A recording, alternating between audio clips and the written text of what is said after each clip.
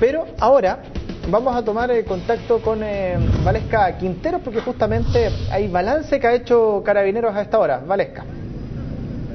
Sí, Germán, en este minuto el coronel Víctor Cancino entrega el último reporte sobre el retorno de santiaguinos luego de este fin de semana largo. Escuchemos las palabras. De tránsito y, fallecidos. Eh, tenemos que lamentar que tuvimos lamentables cifras de fallecidos, tuvimos 10 fallecidos en accidentes de tránsito versus 24 del año pasado. A pesar de que tuvimos alrededor de un 60% menos accidentados, eso no nos deja de tranquilos. ¿ah? Son cifras que nos preocupan porque ojalá debiéramos hablar de eh, que no haya fallecidos en accidentes de tránsito durante estas festividades. Eh, hubo un leve incremento, eso sí, y también un leve incremento de los accidentes de tránsito en general y de los, de los lesionados en general. De los primeros un 5% eh, y un 7% respectivamente, lo que aun cuando es marginal, este 5 y un 7% también no, no nos deja tranquilos muertes, eh, ¿cuáles fueron las causas? Sí, si nos puede detallar. Es...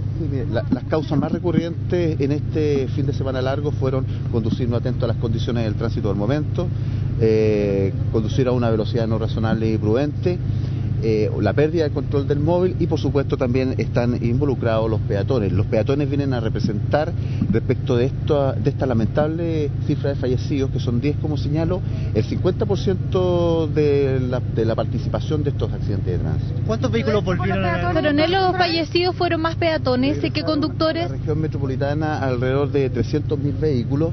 En consecuencia se espera que durante la jornada del día de hoy y mañana regrese un cierto porcentaje más, porque de acuerdo a las cifras entregadas por eh, el Ministerio de Obras Públicas en conjunto con Carabineros y las concesionarias, se dijo que habían salido de la región metropolitana 340.000 vehículos. Por lo tanto, existe una cantidad que no deja de ser eh, importante de alrededor de 30.000, 40.000 vehículos que regresan al... ¿Cuánto fue la cantidad de peatones que fallecieron?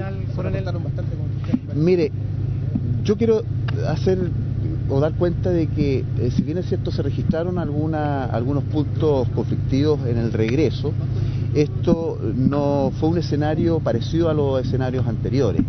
Yo creo que aquí hay que sacar ¿cierto? como conclusión de que las medidas adoptadas por el Ministerio de Obras Públicas en conjunto con Carabineros y también con las concesionarias tuvieron un buen resultado. Eh, y además también agradecerle a los conductores porque se notó durante la mañana y específicamente a contar de las 10 de la mañana un regreso paulatino, un, regreso gradual de los conductores desde las distintas de las distintas regiones o del sur, del norte de y por las distintas rutas de ingreso a la región metropolitana lo que quiere decir que los horarios de ingreso no se concentraron solamente en un horario, sino que fueron distribuidos durante el día y también hay mucha gente que sacrificó incluso eh, días de fin de semana, hay mucha gente que regresó el día sábado también, durante la tarde.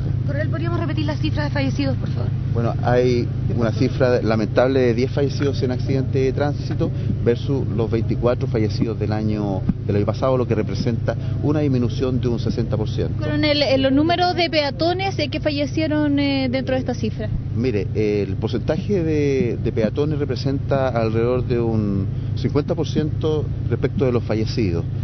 Y las principales causas de los fallecimientos a raíz de de hechos, por supuesto, que son negligentes de estos peatones fueron cruzar las calzadas por lugares no adecuados, no haciendo uso de las pasarelas y con luz roja de semáforo. Coronel, respecto del accidente que se registró en el kilómetro 5 de la ruta sur, un eh, automóvil que vendría a exceso de velocidad y con licencia de conducir vencida, ¿es así?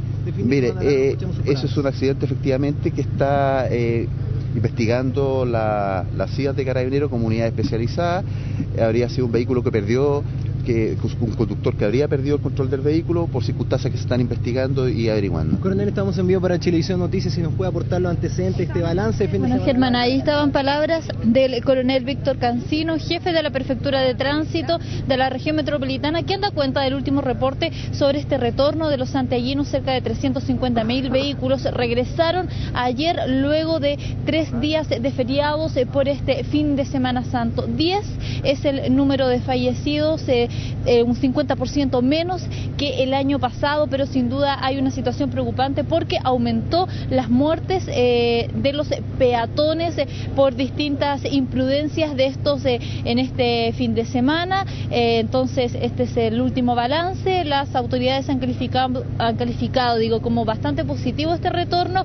Sin embargo, de igual forma, a finales de la jornada de ayer hubo importantes atochamientos en algunas plazas de peajes, como se repite en estos fines de semana cuando hay un retorno masivo de capitalinos eh, a Santiago. Germán.